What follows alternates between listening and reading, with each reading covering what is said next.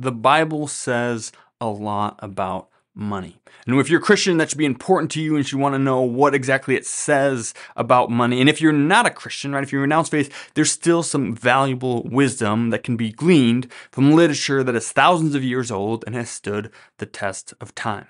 So for the next four weeks, I want to cover four biblical principles about finance. Now, the Bible is not a handbook on how to manage finances, right? It doesn't tell you where to invest or or you know how to avoid taxes or how to make sure that we pass our all of our assets to the next generation as efficiently as possible, right? It's not doesn't it's not meant to do any of those things. But it does have time-tested principles that we can use and apply to our lives, the way that we view money, the way that we handle money, and it's just, it can be very, very helpful. So, again, if you're a Christian like me, then this is very important to you or should be. And even if you're not, I would encourage you to listen because I still think there's some great things that you can uh, learn from this and, and learn from the Bible and, and from how, what it says about money and some just some good attitudes and those kind of things. So, even if you generally don't like Christianity, don't like God, don't like any of those kind of things, maybe just think about it as a, as a historical historical lesson, or if maybe you're going to study a little bit of the different faiths and those kind of things, I would encourage you to just you know still tune in and, and listen. And if you want, you can just tune out the next four weeks and and come back when we stop talking about the Bible and stop start talking about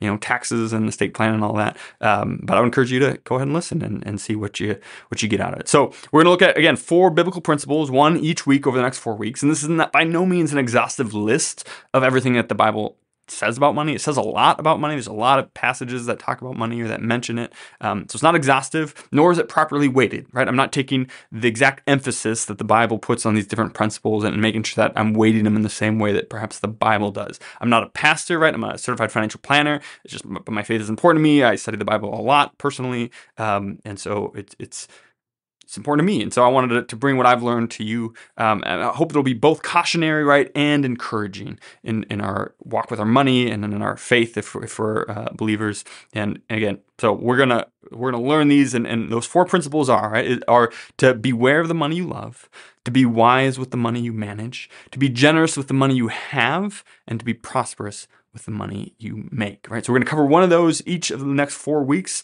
And so let's look at the first one just this week, right? To be aware of the money that you love. Now, maybe you've heard this phrase, right? Money is the root of all evil.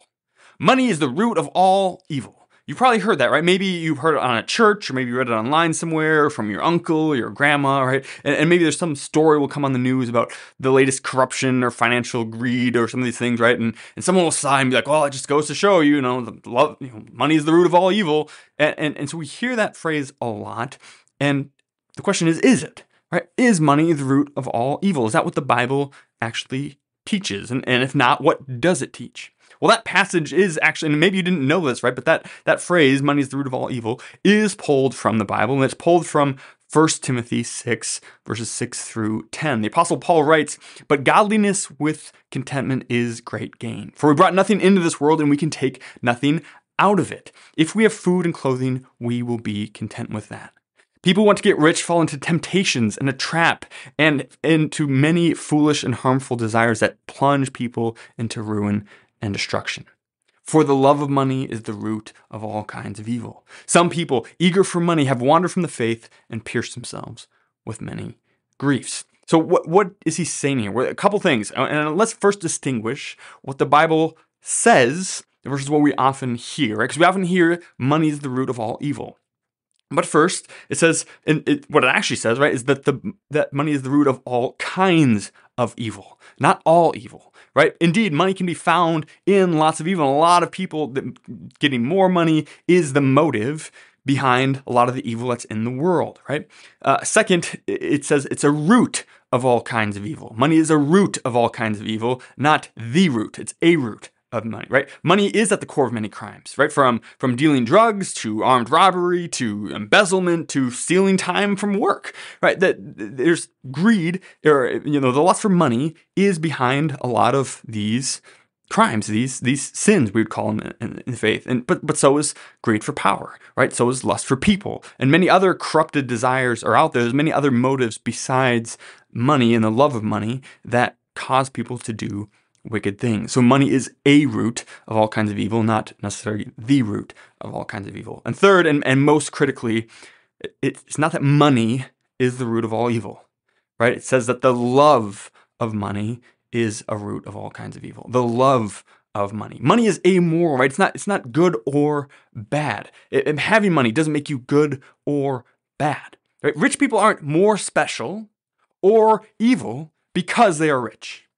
Right? And people in humble circumstances aren't more spiritual or more bad because they're not rich. Right? It doesn't matter. Some people got rich by doing evil deeds, for sure. Right? Many people got rich by doing great deeds, for sure. Some people stay poor because of evil deeds, for sure. Many people stay poor not because of anything evil that they've done, for sure. Right? Money is amoral. It doesn't have, it's not good or bad, it's not right or wrong. It just is. And so the warning is against the love of money. Beware of the money you love. Right? So so what does it continue to say, right? If we back up a little bit, because that's that's the famous verse, right? For the love of money is the root of all kinds of evil. But if you back up and read it in context, right, it says, you know, what, what does it say? Gain as much money as possible, for this is great. More money is great gain. Ambition and desire for money is great gain. Hardly. That, that, that's not what it says, right? It says earlier on in verse 6 godliness with contentment is great gain. Without contentment, no amount of money will ever be enough. Without contentment, no amount of money will ever be enough. You may have heard of J.D. Rockefeller. He died in the early 1900s, but he was one of the wealthiest people who ever lived.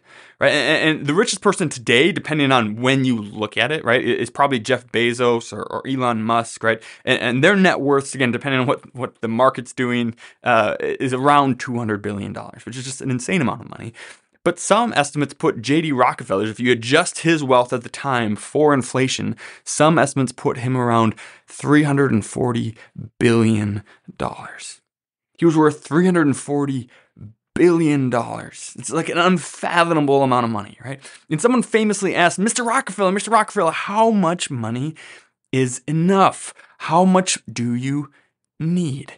And his infamous response was, just a million dollars more just a million dollars more. He's $340 billion and he just needed a million dollars more. Right? Because without contentment, no amount of money will ever be enough. We need contentment. If you love money and you don't have contentment, no amount of it will ever satisfy you. And thing is, right, you can't take it with you. It says, For we brought nothing into this world and we can take nothing out of it, right? There are no U-Hauls behind hearses. No matter how much money you make or how many possessions you accumulate, you can't take any of it with you. Right? It's all going to stay. Estate planning exists because it all stays. Because when you die, you don't get to take any of it with you, and, and it's all going to go to someone else. And, and, so you have to literally plan and a lot of times spend money on making sure that your stuff goes where you want it to go because you can't take it with you. it doesn't matter how much money you make when you meet your maker. Right? It doesn't matter how much money you make when you meet your maker. It doesn't matter how much money you have when you stand before the one who has it all. He's not impressed. It doesn't matter, he says, how much money you make or if you love money and you pursue it and that's the only thing you care about. In the end, it doesn't matter because you can't take any of it with you.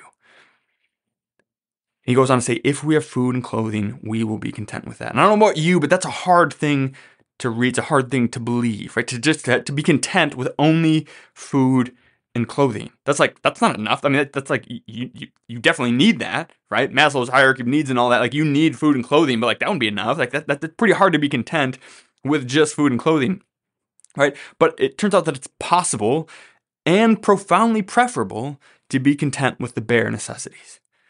To, and, and think about how that would look and feel in our own lives if that could actually be true, right? That it, what if we were content with just food and clothing? no amount of money or lack thereof, right, would make us more or less happy. We would just be content no matter what. And, and does being content with the bare necessity mean we can't pursue more?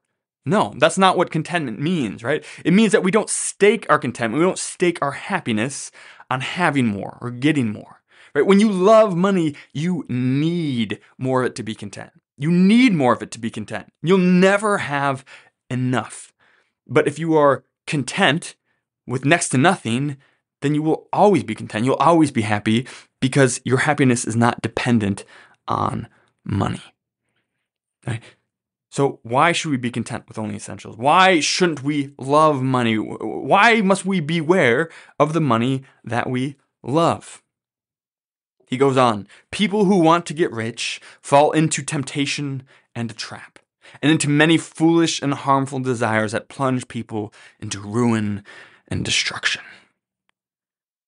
And how often do we see this? Right? People who, who love money, who pursue it at all costs, only to find ruin and destruction. When you love money, right? When, when that's your sole focus in life is getting money, and even if you wouldn't say it that way, right? A lot of people say, "Oh yeah, I love money." Some people would, but a lot of people wouldn't say it that way. But their actions and their drive and stuff like show that they love money. And and when you love money, you are tempted to do all kinds of things to get it. Some are foolish desires, right? You, you, you, play the lottery, hoping that you can get rich quick, right? You invest money into things, into Bitcoin and other cryptocurrencies you don't understand when you shouldn't be investing that money there, right? You, you gamble or, or you give money to your friend's startup company or whatever else, and, and it ends up in financial ruin. You just do foolish things with your money because you want more of it and you're willing to do dumb things to get it, right? And, and then there some are harmful desires, right? You, you rob your employer by fudging time cards or numbers at work to get more money for stuff you didn't actually do, and you get fired. Right? You underpay and mistreat your employees to boost short-term profits, and they leave and your business goes under. You cheat, backstab, and step on fingers and faces in order to climb the corporate ladder, and you burn the relationships around you, and it ends in financial destruction. When you love money, you're willing to do foolish or harmful things to get there and that will eventually plunge you into ruin and destruction. And there are many people out there, right, that are pursuing money, pursuing money and their love of money by doing foolish and harmful things. And it appears right now, as we just, as a, in a snapshot in time, we can maybe think of some people like this that we're like, man, I'm pretty sure they're doing some nasty stuff. They, they, got to be doing. They, I feel like they're cheating somehow, or they're just being dumb, and it, it, you know they seem to be getting away from it, or, or whatever else, and, and they appear to be getting away with it. But what, it's not not forever. Right? Eventually that will plunge them into ruin and destruction. What goes around comes around, even if it's a long elliptical orbit. Right? And the, and Apostle Paul's final warning after his declaration that the love of money is the root of all evil is less about evil and more about its natural consequences, right? So he, so he makes that statement that we're all so familiar with, and then he says that that that some do evil, right, in, in the pursuit of the money they love, but then there's this whole other set, right? He says, Some people, eager for money, have wandered from the faith and pierced themselves with many griefs. Some of us haven't done anything foolish or anything harmful in our pursuit of money. We've simply wandered. We've simply wandered. We've wandered from our faith we, we had a great relationship with Jesus at one point, and we were active in our church community. But but lately, we've been kind of more focused on our careers. We've we've got some promotion. We're, we're making good money, and if we could just make a little more money, then then we'd be content. But in the meantime, it, it's stressful, and we're putting in a lot of hours to get it all done, and and, and, our, and our faith is on the back burner, and we'll get back to it eventually. Yeah, yeah, we'll get back to it. Don't worry. Uh, we just need a little bit more money, just just a million dollars more, and, and then we'll be content and we've wandered from the faith. Some of us have wandered from our families. The pursuit of riches, powered by the love of money, has caused us to ignore our vows to our spouses and our responsibilities to our kids we're doing good work, right? Our business is thriving. We surpass the highest ethical standards, right? We're not just avoiding harmful or foolish activities. We, we're, actually the highest standards possible. We're, we're building our business the right way and ethically earning every dollar we make. And we're doing well by doing good out in the world, right? We're doing business well out in the world. And, and all the while, we've wandered from our family and our relationships at home are strained to the point of breaking. Some people, eager for money, have wandered from the faith and pierced themselves with many griefs. Lost faith, broken marriages, tenuous relationships. We don't need to do anything illegal, unethical, or foolish to love money. Even doing everything right, the love of money can pierce us with many griefs. Beware of the money you love. The love of money is a root of all kinds of evil. The pursuit of it tempts some into foolish and harmful desires, and others from wandering from their faith, their families, or even their fitness.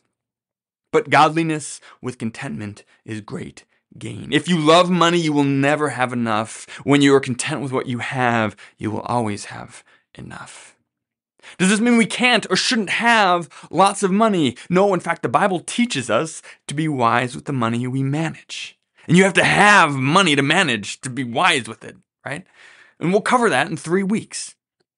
Does this mean that we can't or shouldn't earn lots of money? No, the Bible teaches us to be prosperous with the money we make. And we'll talk about that in two weeks. Does it mean that we, you know, what, it does mean is that we should be content with what we have and keep money in a good perspective. And one of the best ways to beware of the money we love is to be generous with the money we have. And we'll cover that next week. See you then. Cheers. I hope you enjoyed that. And if you did enjoy that, you would love being a part of our free membership community. It's called Retire Membership, and you can sign up today completely for free. When you do that, you get a host of bonus and exclusive content that we don't give out anywhere else. For example, you can buy my book, 3D Retirement Income, on Amazon, but if you become a retirement member, we will send you one for free or and or give you the audiobook and ebook just for signing up. You also get additional bonus content, exclusive content, including client corner insights from some of the best minds in behavioral investing, workbooks to go along with our workshops to help you get the most out of it, and more ongoing bonus and exclusive content. Some of this you can't get anywhere else. And so we would love for you to join our community. You can join now at retiremembership.com. Otherwise, there's a link in the description of this video where you can sign up. All we want to do is continue to give you the best information out there so that you can retire successfully and stay successfully retired. So you can go in there, do that on our website. There's also a, a longer form podcast. Uh, I think it's episode 80 that will help explain what it is and what we're trying to do with Retire Membership. But join now for free. Get this and much more exclusive content by joining us today. We look forward to seeing you there and thanks for watching. Cheers.